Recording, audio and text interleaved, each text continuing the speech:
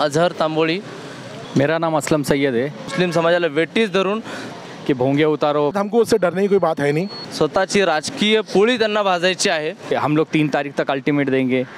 वो अगर parallel government चलाने की कोशिश कर रहा है। आम्हाला वाटतं की भाजपाचे जे अनाधिकृत भोंगे आहेत राज ठाकरे तो ये होता कौन है ऐसे अल्टीमेट देने वाला कि हम लोग ये होने देने वाले हैं नहीं अयोध्येला काय तुम्ही दुसरं काशीला पण जावा. पण अपराध को रोकाने का एक तरीका होता है. जो मुस्लिम कम्युनिटी या माइनॉरिटी कम्युनिटी है आता कोणताही भोंगे उतरवण्यासाठीचा आदेश नाहीये. खुद को विक्टिम समझना बंद कर दे।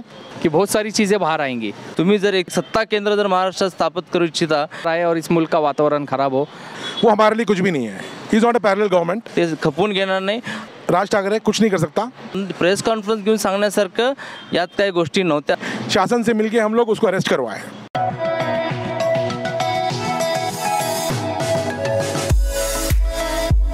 Azhar Tamboli Maharashtra general secretary social democratic party of India S D P I महाराष्ट्रामध्ये राज ठाकरे यांनी गुढीपाडव्यानिमित्त जे घेतलेली सभा होती त्या सभेनंतरनं राज ठाकरे हे उघड उघडपणे मला वाटतं की हिंदुत्वाचं राजकारण ते ॲडॉप्ट करू इच्छितात. त्याच अनुषंगाने त्याने ठाण्याच्या सभेमध्ये देखील एक अजून दोन मुद्दे जास्त ॲड करत जे ना युनिफॉर्म सिव्हिल कोड व जनसंख्या कानून असे मुद्दे छेडून जाणून बुजून त्यांनी या बोंग्याचं भोंग्याचं राजकारण करत आहेत. त्यांना फक्त अपेक्षित फक्त महाराष्ट्रातील समाजाला मुस्लिम समाजाला वेटीस धरून स्वतःची राजकीय पोळी त्यांना भाजायची आहे. त्या दृष्टिकोनातून ते पुढं जात आहेत. तुम्ही पाहिलं असेल की म्हणताना ते बोलतात की हे सामाजिक मुद्दा आहे धार्मिक मुद्दा नाही आहे माझं अ, अजानला विरोध नाही आहे पण त्यांनी जे काही स्टेप्स उचलले आहेत पावले उचलले आहेत की अजानच्या समोर हनुमान चालिसा. आता जर सामाजिक प्रश्न असला तर हा सामाजिक प्रश्न हा सामाजिक पद्धतीने सॉल्व्ह करू शकतो. पण त्याला फक्त हनुमान चालिसाने सॉल्व्ह नाही होत ना? असे किती प्रश्न आपण सामाजिक प्रश्न हनुमान चालिसाने सॉल्व्ह करणार आहात? माझा असं प्रश्न आहे त्यांना. त्यानंतर त्यांनी बघितलं असेल की औरंगाबादनंतर त्यांनी डिक्लेअर केलं की आम्ही अयोध्येला जाणार आहात.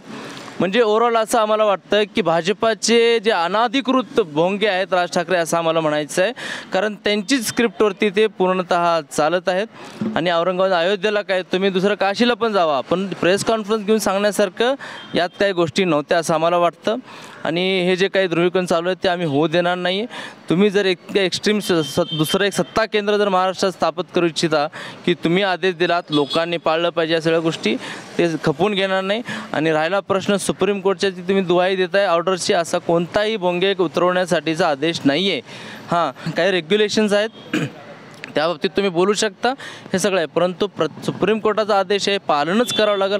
असं जर का आपण एक्झिक्यूट करण्यासाठी जर का आपण समजत असेल स्वतःला मला म्हणायचं आहे की भरपूर काही अजून गोष्टी निघतील.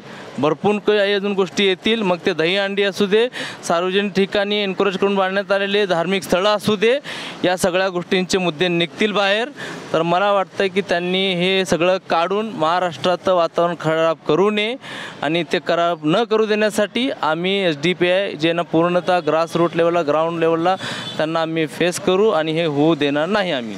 त्यांचं हे धार्मिक राजकारण आम्ही टिकू देणार नाही आहे मेरा नाम असलम सय्यद है मैं पूना पूना शहर वाइस प्रेसिडेंट हूँ। सर, ये जो राज ठाकरे ने जो बम्बई में सभा लेके जो बोला है कि भोंगे उतारो, फिर दूसरी सभा में बोला है कि हम लोग तीन तारीख तक अल्टीमेट देंगे। मुझे ये लगता है कि इस देश में कानून है, पुलिस डिपार्टमेंट है, सारी व्यवस्था है। हर चीज़ को करने का, हर अपराध को रोकाने का एक तरीका होता है संविधान के तहत और कानूनी आईपीसी के तहत। तो ये होता कौन है ऐसे अल्टीमेट देने वाला? सबसे पहली बात।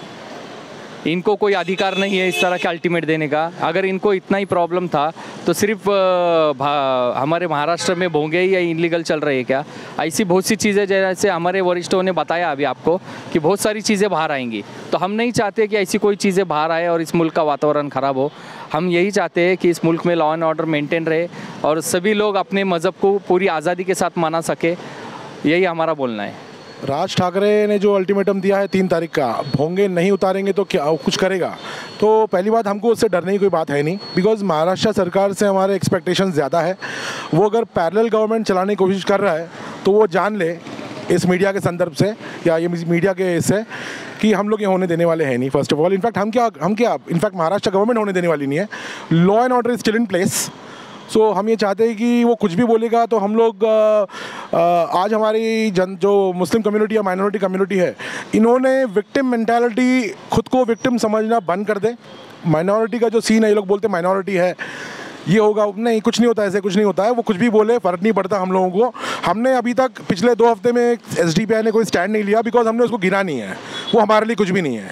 Is not a parallel government और पैरल गवर्नमेंट होती भी नहीं है। So Maharashtra government is still place हमको उस पर यकीन है महाराष्ट्र गवर्नमेंट पे। और महारा महाराष्ट्र की जो पुलिस है वो भी अच्छी तरह से हमको आज तक उन्होंने कॉपरेट किया है और यही एक्सपेक्टेशन है हमारे कि वो हमें आगे भी हमसे कॉपरेट करेगी। बट ओवरऑल मैं अगर इसको समराइज़ करूँ तो मैं बोलूँगा कि राज ठाकरे कुछ नहीं कर सकता because law and order stay in place अगर नहीं हुआ तो हम लोग कोशिश करेंगे कि पूरी ताकत लगाते हम लोग, पुलिस से मिलके, शासन से मिलके हम लोग उसको अरेस्ट करवाएँ। Thank you very much If you like the video, do like, comment, share, and subscribe.